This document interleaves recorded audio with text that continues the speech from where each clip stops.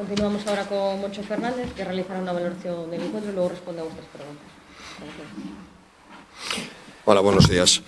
Bueno, para, para poder disputar eh, contra equipos de este nivel los partidos y tener opciones de victoria hay que estar muy bien en todos aquellos aspectos que tienen que ver con la no comisión de errores, tanto en el aspecto ofensivo con pérdidas a veces yo creo que gratuitas, que acaban costándote muchos puntos, las batallas del, del rebote, acciones como el tiro libre o acciones de rebote ofensivo que, que te pasan factura.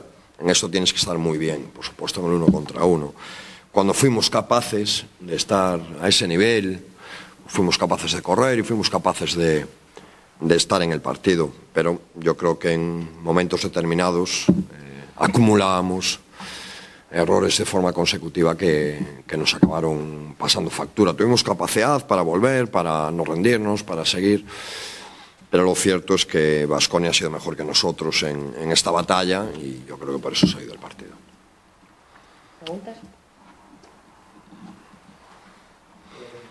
Hay un momento clave que es cuando os ponéis a uno en el tercer cuarto y ha llegado un parcial después de un tiempo muerto de, de, de Perasovic. ¿Qué ha hecho mal ahí tu, tu equipo?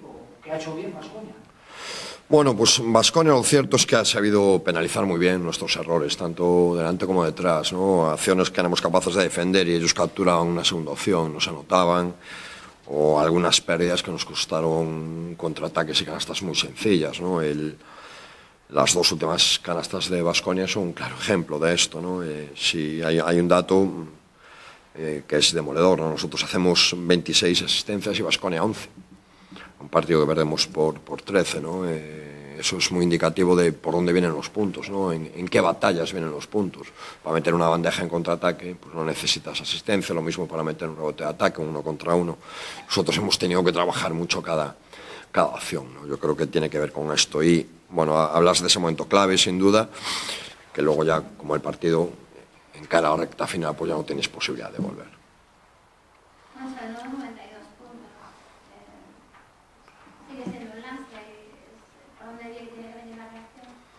Bueno, como te digo siempre, los puntos no hay que mirarlos de forma global, ¿no? Hay que mirar los, los eh, puntos por cada, por cada posesión, ¿no? En, encajados, ¿no? Y, y, creo que este dato de las asistencias es muy indicativo, ¿no? Tenemos que mejorar todos estos aspectos. Hay, hay acciones que en las que Vasconia, que, que, es un gran equipo, pues las anota porque tienen esa calidad y, y demás, ¿no? Pero yo creo que hay muchos puntos que, que, que podemos reducir, ¿no? Puntos en contra que recibimos si haces un buen bloqueo, a nosotros muchas veces nos cuesta salir, nos empujan, nos agarran.